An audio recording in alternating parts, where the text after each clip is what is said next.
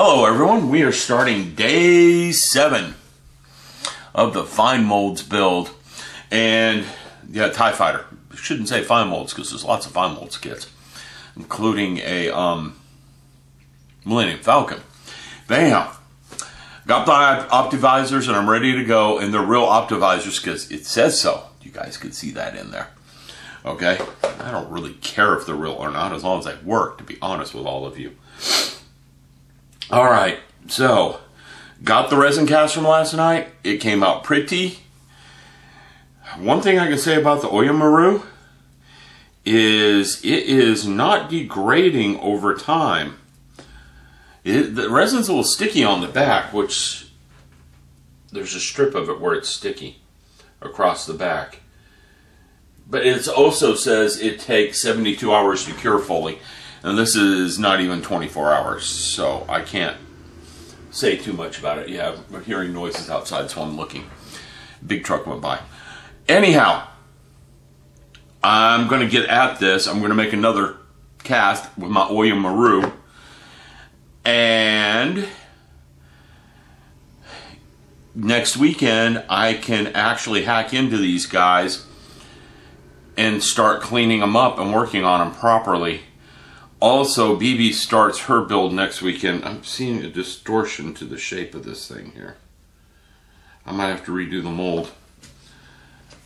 Time to pull out the actual piece and take a look. It's in the box. Project box. I see a lot of you like that idea. Let me get my glasses out and take a piece. Look, if there's a distortion to the shape of this thing,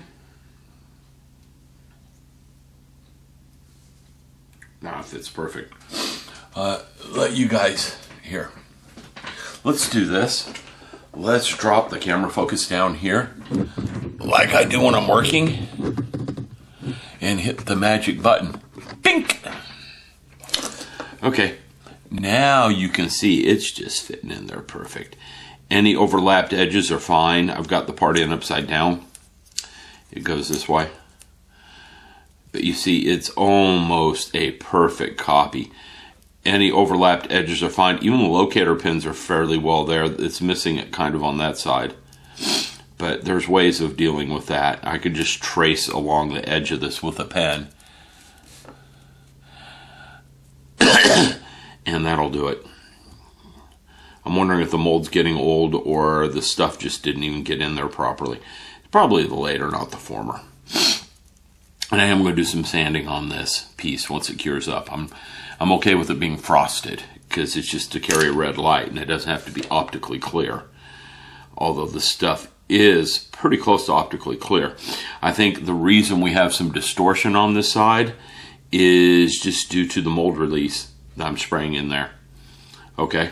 Which does its job. This thing pops right out free and clear pretty easily. Anyhow, this is supposed to cure for another two or three days, so I'm going to go ahead and just set her aside and let her cure. And as long as that shape does not distort any, we've got one down, and I need one more. I might make a third as a spare, just in case something happens, because you never know. And having a third one doesn't hurt. So I'm going to go ahead and set this aside. And go ahead. I'm going to make another one before I quit today. Okay. I don't think I necessarily need to detail that process because you take this, you take this, you mix equal parts together. I'm mixing them in a bowl and I'm just pouring it right in the mold. That's all I do. There's nothing more to it. Now, maybe I should have shown how this stuff works, but if you search for Oyomaru on eBay, I mean on YouTube, you will find plenty of outlines for it. But I don't think it would hurt for me to do that if I have to make another cast. I'm just pretty happy I bought this stuff a long time ago. I bought it while I was making the Godzilla thing because I was trying to replicate the Godzilla, I mean the scales on King Ghidorah. That was not an easy task to accomplish. And I was using this to replicate the scales right next to where the seam was and then we're taking some Aves Apoxie Sculpt and pressing it inside this to make an imprint of the scales. on the actual model kit. And it worked fairly well. There's only one or two spots where it didn't work well. And this stuff seems to be holding up fairly well because it's fairly rigid. It's not like silicon. I wouldn't try this making two-part molds with this or anything. But for the purpose I'm using, it works great. All right, let me get to it. One other thing before I get turn the camera off for a bit. Hit the magic button, bam! This right here didn't get centered properly, so I'm going to have to yank it off and pull it back on. It's only off by a hair. The wife told me she wouldn't have noticed unless I pointed it out to her. So what I've got here is some fingernail polish remover, acetone base. I'm going to hit it with a Q-tip and just soften it and then pop the piece off because I know that I'll pop the piece off and then I can reglue it back down. I'll clean up the surface and reglue it back down. This will pull it off and lacquer thinner will pull it off. I just don't really want to use lacquer thinner too much on the surface of the model kit because it can discolor and remove textures. Just so you know, lacquer thinner does soften the plastic. That can too, but that one takes longer time. All right, so let me get at things because I got a limited amount of time before the wife gets home. When she gets home, it's dinner date time. We're going to a movie and dinner. So I got to be ready for her when she gets here. So let me get busy. I'll talk to you guys in a little bit. All right, everyone. I'm just showing you what happened. I took, this is covered with some of my fingernail polish remover. I'm going to buy some more pretty soon. This stuff's kind of cheap. Okay, got her good and wet right now. And we're going to hit the magic button. I like calling it the magic button. Instead of zooming like I used to do, I push a button and it's done. Okay, and I'm just going to put it on there and just start wiping. And there was some pretty good uh, super glue residual on there. Residue. There we go. That's the right name. Residue. And this is taking it right off. Okay? Getting her down to the bare naked styrene.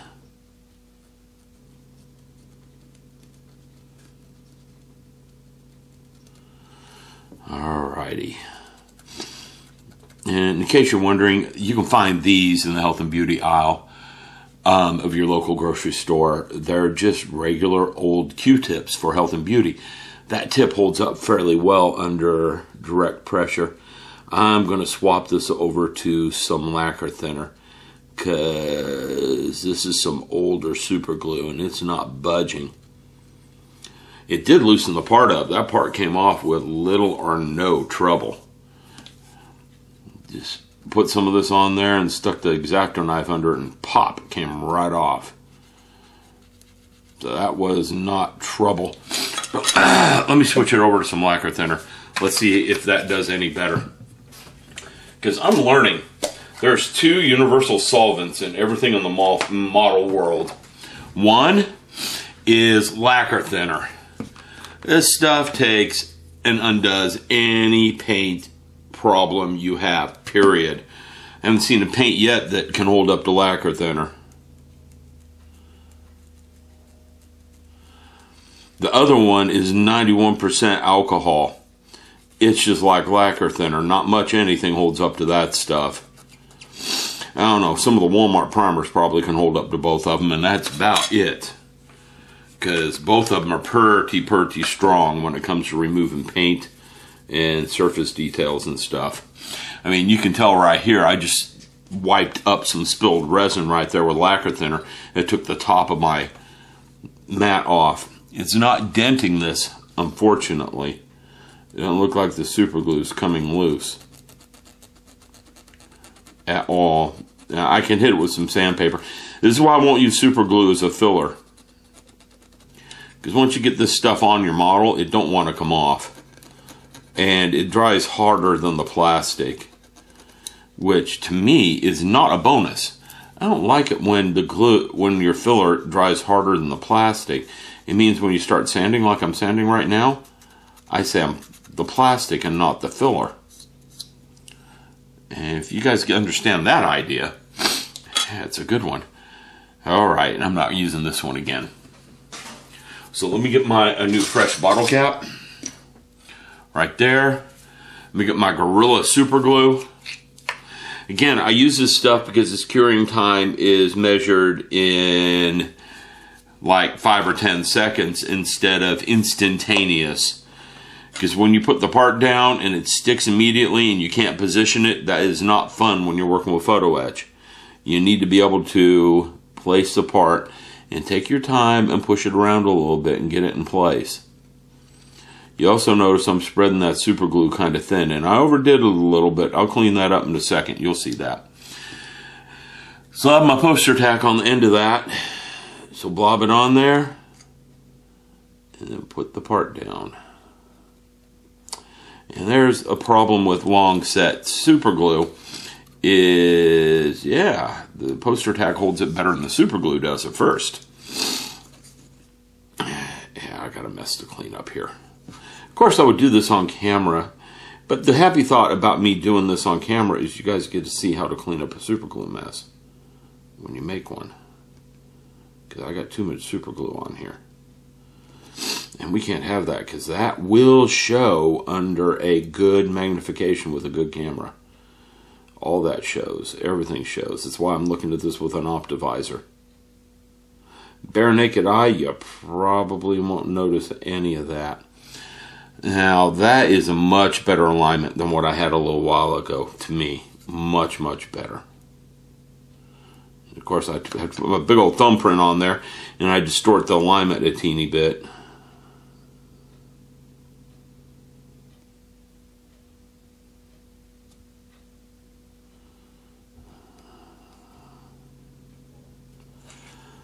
Okay, let me take a look. It can go up a little bit more. Like that.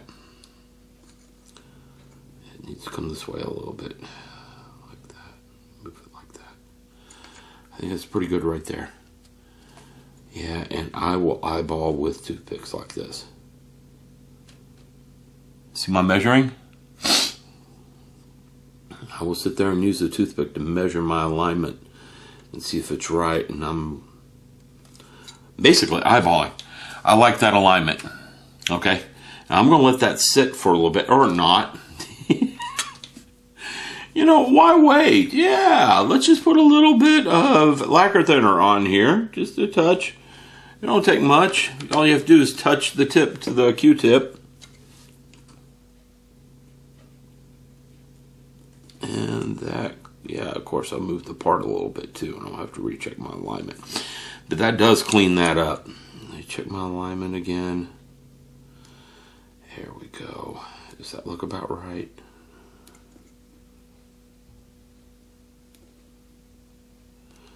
It looks about right to me. I think it needs a good touch. Things going to start setting up now. Let me put on the optivisors so I can see even better. Because I can get in here and see little scratch marks and stuff on the surface. Yep, I can see this is off just a hair. The part's going to start solidifying on me in a second though. My working time's about gone on this glue. She's not centered. My working time's going away real quick. I can feel the part starting to stick.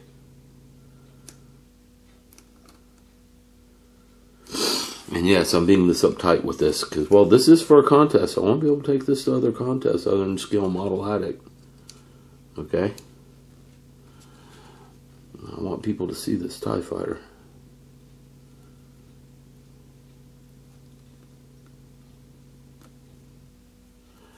All right. I think that's good right there. It's fairly well centered. It's right on the edge the way I want it. All right. We're leaving it, and the glue is setting up. So let me show you guys. Right there. I pulled it off, redid the alignment. That glue is setting up. I'm leaving her be. Now, if I remember right, that's all the photo etch on the front part of this thing. me take a good look at the sheet and see. Well, no, it's not. There's still two pieces that go at the top. I've been checking them off as I go on the sheet itself. Okay? And if you, you can see my check marks if you look. Because I just did these two here. Let's undo the magic button so you can see what I'm doing. I just did these two here. I've done those. I've done those. I haven't done these two. And I haven't done number seven. The, I haven't done number seven because I got to remove more detail on the on her. Number seven. Oh, that's the back. No, that's not the back. That is the front. Whew, scared me for a little bit. Number seven goes right here, so I have to remove more surface detail to put number seven on. Okay? So here, let's make this where you see the part better. Number seven goes right here. So I got to remove some more detail, and I'll put number seven there. And then there's two number 20s and more detail removal that go here and here. And then I've got the whole front half of the ship done with its photo etch. At the back, I'm nowhere near done with. The back has a lot more to go. Okay? A lot more. But I'm almost done with the front. And that will be a high five moment. Because, well, I'm not halfway done with the photo etch, but it just says I've made some good progress.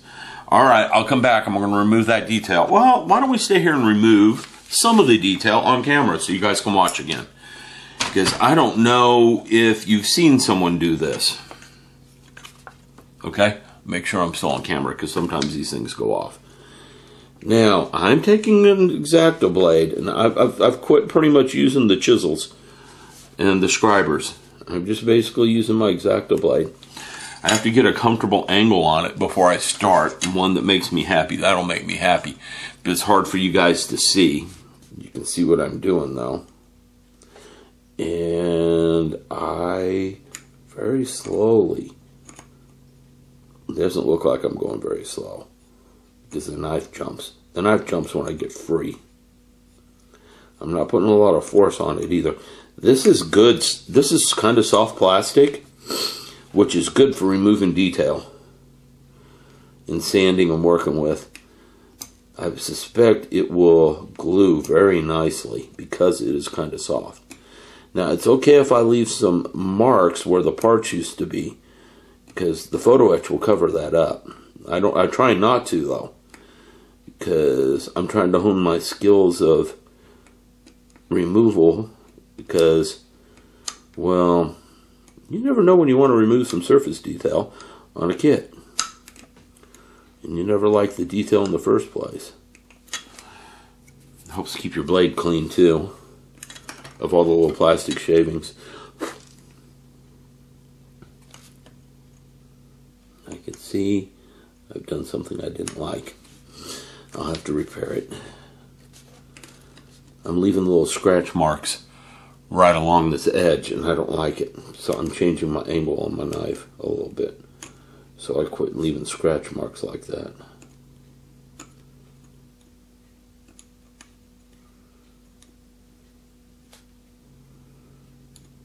There we go. That's coming off really nice. It's just like slicing a piece of cheese off a block. It's not like slicing butter, no. It's like trying to slice a really thin layer of cheese off a block of cheese. You can't go real fast with it or you won't get a thin layer. I do hit it with the sander occasionally because that cleans up my edges and my chips.